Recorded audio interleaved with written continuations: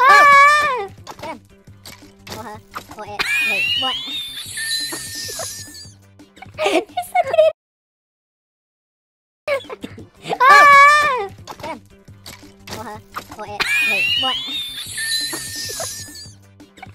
so good. Why are you always...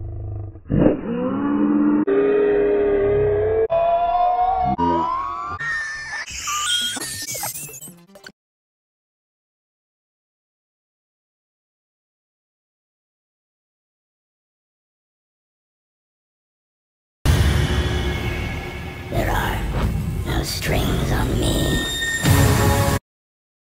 The Darmer, the ninja. This guy.